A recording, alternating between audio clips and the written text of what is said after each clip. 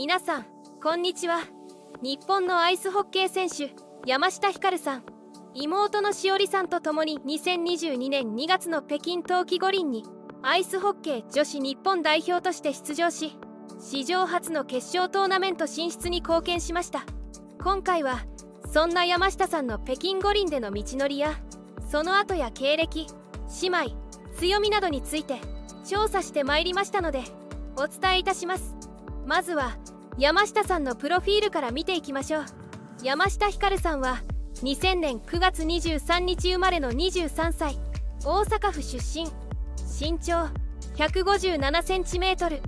山下さんがアイスホッケーを始められたきっかけは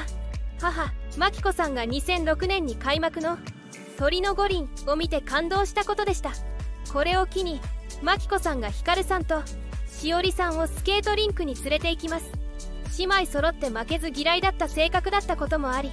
ひかるさんしおりさん姉妹はアイスホッケーに夢中になっていったとのこと。さらに所属したジュニアチームの先輩が2014年に開幕のソチ五輪にて活躍する姿を見て感銘を受けたひかるさん。より上のレベルでアイスホッケーに専念しないとオリンピック等で活躍できないと真紀子さんから言われたこともありひかるさんとしおりさんはご家族で住んでいた。大阪府から北海道苫小牧へ移住しました。家族ともに偉業を成し遂げようという行動力がうかがえますね。移住後は駒沢大学附属苫小牧高等学校へ進学しました。20162018年には女子アンダー18世界選手権国際大会で出場。2018年の全日本女子中学高校生アイスホッケー大会。では優勝を果たしました。2019年3月に高校を卒業後は西武プリンセスラビッツに在籍。2019年と2021年の女子アイスホッケー世界選手権。昨年2022年開幕の冬季北京五輪の代表といった目覚ましい活躍を成し遂げます。一方妹のしおりさんは3歳の時にひかるさんとアイスホッケーを始めました。大阪府柏原市の柏原オークスジュニアで練習に打ち込んでいましたが小学校6年生の時にひかるさんらご家族と苫小牧に移住。苫小牧青少中学校へ入学後道路建設ペリグリンに所属します。中学卒業後は北海道苫小牧東高等学校へ進学しました。高校卒業後はひかるさんと同じく早稲田大学スポーツ科学部へ進学。所属していた道路建設ペリグリンから西武プリンセスラビッツに移籍しています。そんなお二人は2022年の北京冬季五輪にアイスホッケー女子日本代表として初出場。女子アイスホッケー日本代表チームスマイルジャパンでのインタビューでは姉妹ならではの強みについて語っていました。ひかるさんは私はフォワードで妹のしおりはディフェンスなのでお互いの立場からアドバイスをし合いますね。例えばディフェンスから見るとそこにいたらパスを出しにくいからここにいてほしいとか逆にこういうことをされたらディフェンスは嫌だから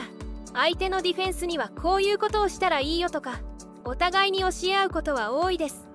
とコメント。しおりさんは自分はシュート力が課題の一つ。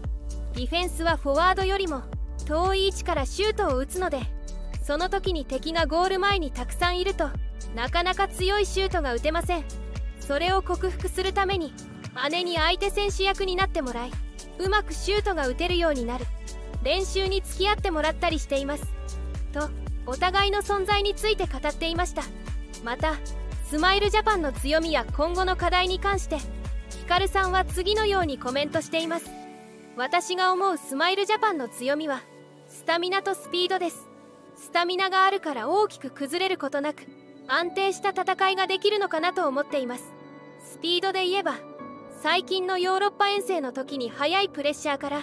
パックを奪ってスコアにつなげるプレーが増えていたのでそこも強みですね。課題はやはり得点力。今年8月にカナダで行われた世界選手権の時もオフェンスゾーンから得点につながる。プレーがないことがチームの課題でした。オフェンスゾーンで簡単にパックを取られないようなパックプロテクションやゴール前での細かい技術狭い隙間を狙うハイショットとかそういう技術が海外の選手はうまいしクリエイティブ性も含めて日本に足りない部分だと思うのでそこをレベルアップしていければ得点力も上がってくると思います。2022年の北京冬季五輪に初出場した山下姉妹ですが2018年のピョンチャン五輪から壁にぶつかったこともあったそうです。カルさん曰く所属チームで目標としていた2つの大きな大会で2冠を取ることが達成できなくて悔しい思いをしたとのこと。どちらの大会も私はフォワードとして点数を取らなければいけない立場なんですが大事なところで決めきることができなくて2大会とも優勝を逃してしまい何もできてないなと感じました。大会後はどうしたらいいんだろうって悩みましたね。コロナ禍であまり練習ができなくなってしまいましたがそれを逆手にとってアイスホッケーのプレー動画に向き合う時間を増やしました。点を取る選手はどこがうまいのかポジション取りやゴール前に入っていくタイミングなどを分析して自分との違いを学んだんです。そのおかげで得点効率が上がっている手応えはあります。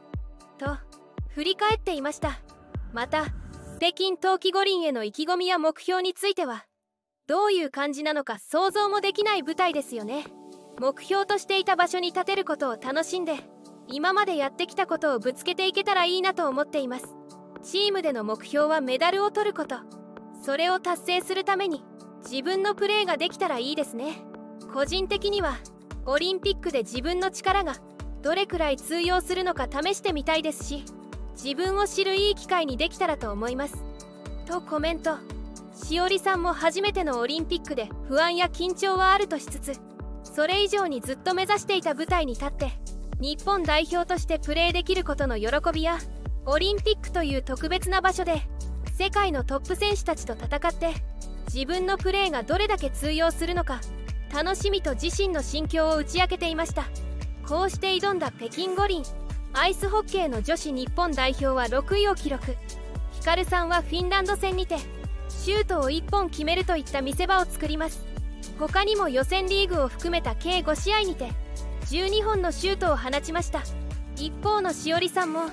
6分29秒の試合出場に止まるも決勝トーナメントへの進出に貢献。姉妹揃ってその実力を発揮しました。そんなひかるさんとしおりさんは国内外での目覚ましい活躍をたたえる豊中輝き大賞が大阪府豊中市から贈られました。市役所を訪れ幼い茂樹市長から賞状などを受け取ったお二人。その後北京五輪を振り返ったりアイスホッケーの魅力を語ったりしました。今後の目標については4年後の五輪でメダルを取ることと口を揃えヒカルさんはスピードを生かしたプレーが長所なのでそこをもっと伸ばしたい。しおりさんは体をもっと大きくして世界の選手としっかり戦えるような選手になりたい。などとコメント。今後も姉妹ともに活躍が期待できそうですね。以上今回は山下ひかるさんの経歴姉妹強み北京五輪での道のりやその後などについてお伝えいたしました。